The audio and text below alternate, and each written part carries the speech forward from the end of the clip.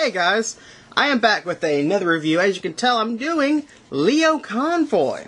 One of my. I, I say this quite a bit apparently because it, it sounds like second nature now, but one of my favorite figures in my entire collection. Um, I, I have. It's one of my favorites because I really get figures because I know I'll like them.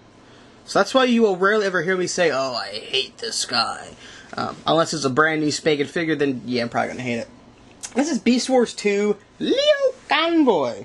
This is not the Robot Masters version. The Robot Masters version is a lot smaller. Um, this is the the full version. I like this guy a lot more. Uh, um, some people will tell you to get the uh, Robot Master because it's a lot smaller and it fits in scale a lot better with um, Big Kong Big Convoy, not Convoy. It's not Donkey Konga. Uh, but but um, this guy just looks better to me. I I like him. He did appear in Beast Wars 2. Um, basically, crash landed on a futuristic version of Earth. He was slightly damaged, and a a snow lion, a white lion, appeared and saved him, and then it, that's what he scanned for his form. And he is pretty much a, a really high-ranking person in in the Maximal um, army, I guess you could say. Uh, he does appear in the Beast Wars graphic novels here. Here, he appears in The Gathering. Um, he appears kind of off and on in some parts. Pretty much on Cybertron doesn't do really do a whole lot. Um, and without scanning through the Ascending, he does he appears on the very front page here, and on this really nice picture for uh, Chapter One. Um, the artwork for these are really, really good. One reason I do like having the this version a lot more is because he fits in in scale a lot better with my Optimus Primal. I mean, the scale is to me perfect there. Um, looks really good. So here we have him. He's he's a nice looking little lion. He he really is. The detail on this guy is really good. You know, the fur. It's Beast Wars, so I think one thing they got right with almost every figure was the fur looked good. Um, it just it, it just looks really nice in here. You see the you know, the little details for his ribs there. His mane looks nice, really cool. His face looks astonishing to me. I think it'd be really cool if you know some kind of customizer out there could actually give him whiskers. Because if you look really closely, he does have the little spots for whiskers, and I wouldn't mind having a Transformer that had whiskers. I I, I like whiskers. There's a little button up top when you push that. That's really cool. I I personally like that. You know, it's not a full on, but it's more of just you know an angry little snarl and then just. And you know, yeah, there's there's that. I mean, yes, on the bottom. Oh, don't show that yet. On the bottom, he is a bit showy. On the side, you can see it a little bit. But overall, this guy just looks really good. It's really good for its time. Uh, he has little claws here. We, you know, now just gonna let you know. since Beast Wars 2 is a Japanese only series, I have not seen it. I I have not watched the subtitled version. I, I don't even know if there's a dub version out there. I haven't watched it. I don't know the plot for it. I don't know all the details from him except what Wikipedia told me, and they didn't have a whole lot in terms of him. But if you flip out this little claw here, the slightest little effort, it springs forward. He has these attack claws, just like that which look pretty cool. I don't know. I don't like him that much really for his uh, his beast mode. And if you push this middle panel on this mane, his little guns spring forward. And it, you, you can also extend these outwards if you want to give him a full-on uh, eh, effect, but we're not going to do that. And he can, he does originally come with six missiles. He can store two in his beast mode, they fit right here. I've got his missiles packed away. I, I haven't opened some packaging yet. I, I don't want to lose them. Um, but they, they, plug right here, and they do extend quite a far, quite far out here, and they, they really do stand out. I don't like them that much. Transforming this guy is a eh, first time. It's, kind of scary because pieces are a bit tight, and you feel as though you're going to break it. Extend his legs downward, rotate them around at the knees. Okay, and then rotate I think I have his feet on backwards to be honest, but oh well. We'll see what happens when I get there. Alright, so once you have his legs down like that, he can stand upright now. Isn't that pretty? Going to extend all those little uh, mane bits out. Get them all open. Get them all out there. So they're not in your way. Although, those you can actually leave down. I'm, I'm kind of stupid here. Okay, well. What I do, I just go ahead and fold this back for now. I fold that up, get it out of the way. Reach inside, and his hands, you can look inside there. And you can see it without using my, my little light. There is, I can get my finger back in there. Okay, right along in there, there's a peg that extends from the body, and that fits into a peg in his hand that holds it in place. Unpeg that, and then uh, there's a little tiny, tiny peg there that holds it in there. Once you get that done, it, it finishes there. So let's try to show it on this side.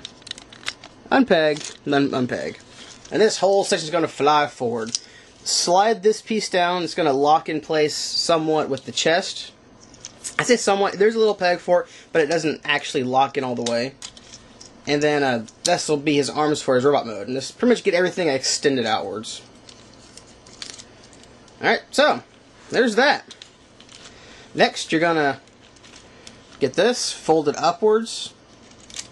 And you're going to rotate it like this. Now, before you slide it down to lock it in place, because it does, it does slide down to fill that little gap in. This little panel here, slide it down. There's a little gold tab here that'll help you pull up his head. And then you can put his arms in and lock down the back of the line mode and the uh, the shoulders of his robot mode. If I can get them all lined up properly, just give me a split second here, and I will I will get them all locked in place. This is definitely the hardest part to me uh, in getting him transformed because. Well, for one, you know, it, it is kind of hard to get this slid down the first time. Mine was really tight, and I was afraid I was going to, to snap something off. And with how rare this guy is, I was a scared little camper. Okay, what you have to do, now that I can actually explain it a little better, you have to get these little red panels lined up with the grooves on the side. Once you get them somewhat stationed, just give a good firm push from the top and the bottom, and just push it, and it should click in. And it holds it fairly nicely. Alright, so, and there's this, there's that. Uh, now, from what I've seen, the most thing people complain about is that you cannot have his mane uh, closed in while he's in his robot mode because it kind of covers his face. So you do have to extend it outwards like that. Which is not really too bad. Um, he does have... Now, forgive me if, if, if I don't know the exact name for this, but he has an attack um, that According to the internet, it's some sort of high, uh, typhoon attack. Yeah. Once you have these two panels locked in, down, have his arm kind of give us some clearance, push this red button, and this spins. And from what I remember, this is called like some kind of typhoon attack. Now, why he's shooting a typhoon to his right, I don't know. I don't know why he would have to summon a ty- you know a typhoon but it's there. Um, personally, I just pop these little guys up, leave it like that, and call it a day. I think he looks really, really impressive. I mean, I, you know, you know, I discovered that Optimus Prime is my most collected figure. Um, I do have almost every version of Prime, and he is one of my favorites of them, just because he looks so you know, I, I can't place it, but he looks very good. Uh, you can take these little little missile launchers here. They come out of his mane, and you can fit them. You can you, you can fit one into each hand, or you can have. Once I get the other one out, because it is kind of hard to get them out because they are, you know, attached to the mane so well. Or you can do what I do, and have them both in one hand where he has like you know a, a little dual blasting gun action going there. Um, I think this guy looks really cool. He looks a lot better with the missiles in place. Um, but I, I, haven't done that. You can also... I think I left part of his tail. I think it's... I don't know. I thought his tail was supposed to transform, you know, back. But maybe it's just supposed to hang there like that. Maybe it's supposed to just... Hello! Type thing. I don't know. But anyway. He has another little gimmick where there's a little gray tab. When you flick that, these can for and it has more missile launchers. Yes, another one. He has lots of missiles. And the same with this side, you know, flick, flick, flick, like I said the word, not flip, little switch and it springs forward like that. Uh, these guys are really touch sensitive. They will spring open constantly. Uh, don't fight it, just go with it. And he has his little, uh, his, his feet from beast mode. When you flip those out, he gives them some sort of like little, uh, kind of like a blade attack. You know, which, not bad. I, I, would have liked... Oh, well. That would look better, wouldn't it? you can't have them like that, and so... Okay. I just discovered something that I never actually knew, which is always, always a fun thing. For his basic mode, leave him like this, with the paws tucked back. When he wants to go attack, flip him forward, like that. I think that was a lot better. Uh, I was leaving where the claws were upside down in a different manner, but yeah, I think that looks a lot better than having just no. But that's really about it. the uh, the face detailing on this guy, the head detailing is all prime. I think it looks, it's one of the best prime heads I've ever seen. It does have full movement, but since, you know, he has really huge shoulders in a matter of speaking, it did it is kind of hard to get him uh, to look, you know, proper directions here.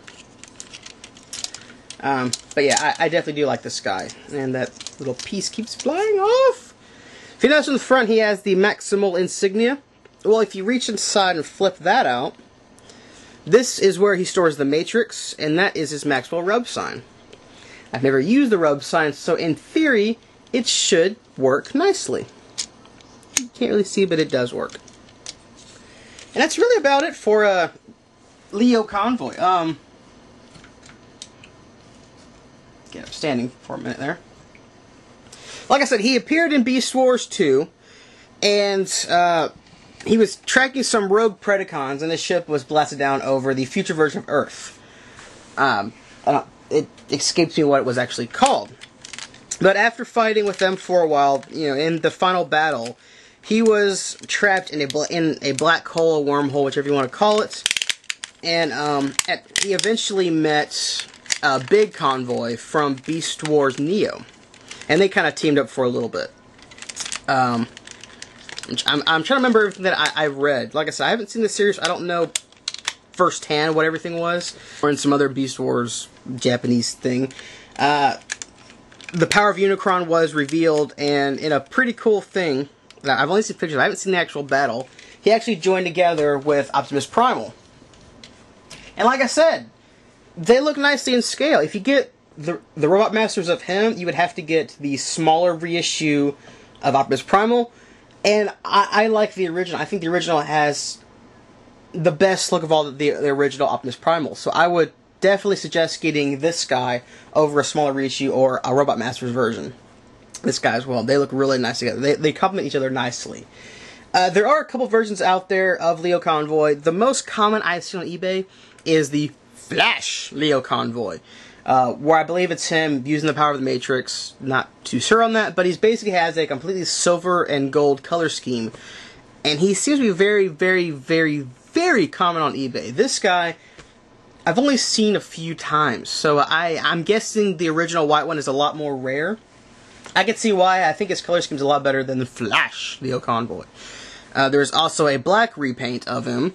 I don't know if he has a certain name for that or not, but it's a black Lio convoy, so it's Nemesis Lio convoy something. If you if you had the classics Legends figure Leo Leo Prime, that was Lio convoy. It looks just like him.